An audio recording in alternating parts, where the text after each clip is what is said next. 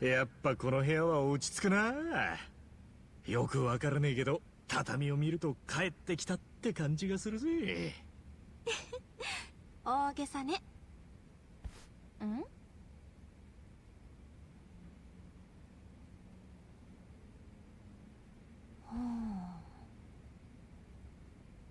ねえいっちゃん。ん？この綺麗なイヤリング誰の？え？イヤリング？私のじゃないしイヤリングをつけていた誰かがこの布団の上にいた。ってことだよね。これ誰の？あええななんだよ。イヤリングなんて知らねえよだが思い当たる節があるかというとない。と言えば嘘になるような気もする。どうなの？私以外の女をここに入れたの？これはその女が落としたイヤリングってこと？やべえどうしよう。なんて答えれば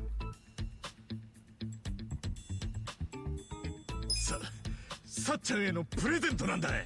サプライズにしようと思ってな。驚いたろああはは。これを私に？いっちゃん。なんとかごまかせたか。ってなるわけないでしょ。こんな布団の脇に転がってる片方だけのイヤリングをプレゼントにするアホがどこにいるってんのよ。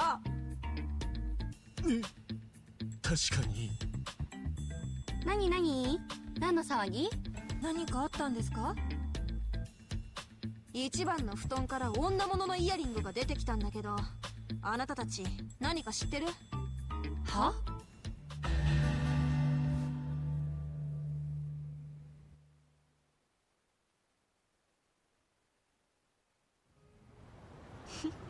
お給料もいいし完全週休2日制。残業もなしの超ホワイトな求人が入ったから 春日さんに紹介してあげよこの参考書すっごく分かりやすかったから春日さんにプレゼントしよう。そしてまた自習室で一緒に勉強なんかして。パワーも有効射程距離も大きく伸ばすことができた新型ボウガン。スミレスペシャル。春日さん喜んでくれっかな大海原資格学校の宮越さんとロマン製作所のすみれさん。こんなところでお会いするなんて奇遇ですね。あああ。そうっすね。私はここのバーに用があって。え？私もサバイバーに。へえ。あ偶然。私もここの春日さんに会いに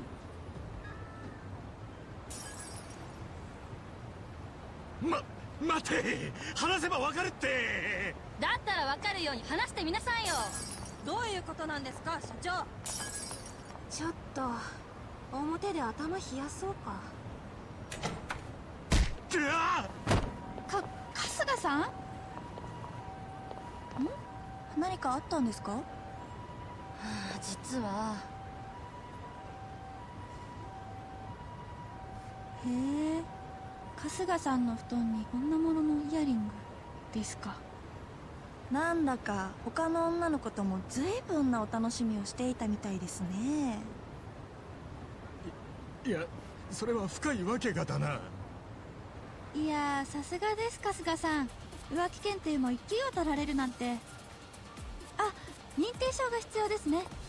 ではあなたの体に直接貼らせていただくのでちょっと浮気脱いでいただけますか？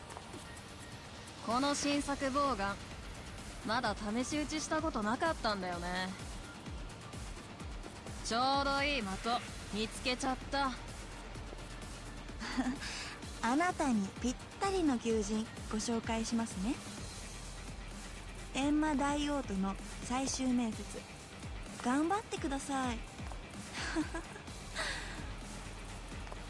春日さんとのチャット楽しかったな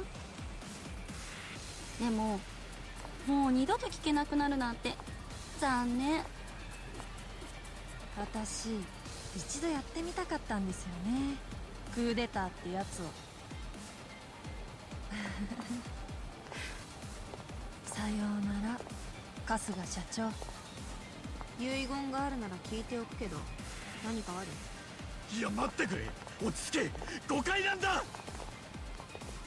女の敵には死あのみ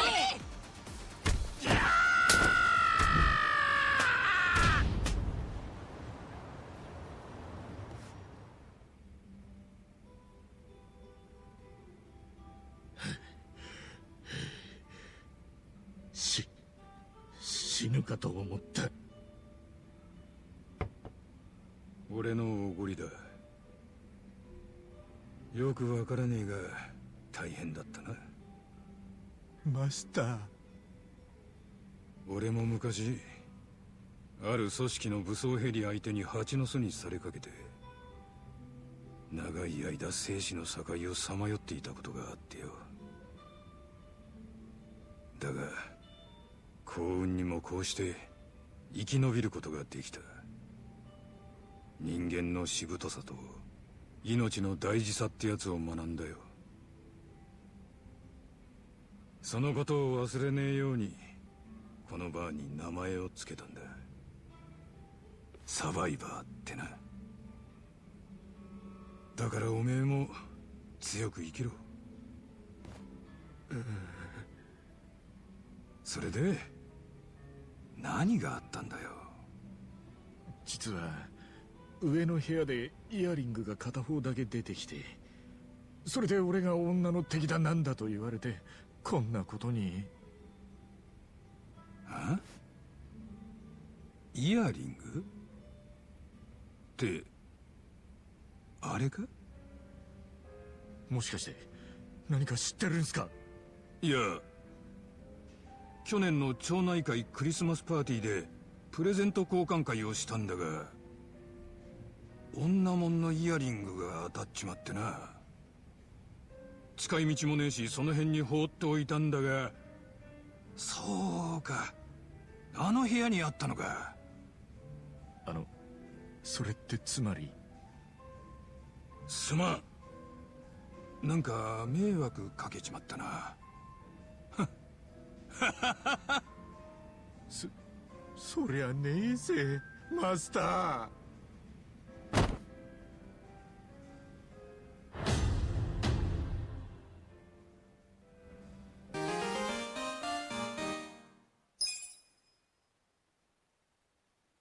イヤリングの件悪かったな。偉人町の町内会の連中に声かけて春日は無関係だって伝えといたからよ。多分みんなの誤解は解けてると思うぜ。おおマジか。助かるぜマスター。ごごめんね一番。私が早とちりしたから。私もよく確認しないですみません。マスターのイヤリングだったなんて何？いいってことよ。終わったことだし気にすんな。ん？でも他の女の子と春日さんは年頃な関係に。まあまあまあ。まあまあもういいじゃねえか。さあ先を急ごうぜ。俺らに立ち止まってる暇はないんだからな。ん？なんかあったのか？さあな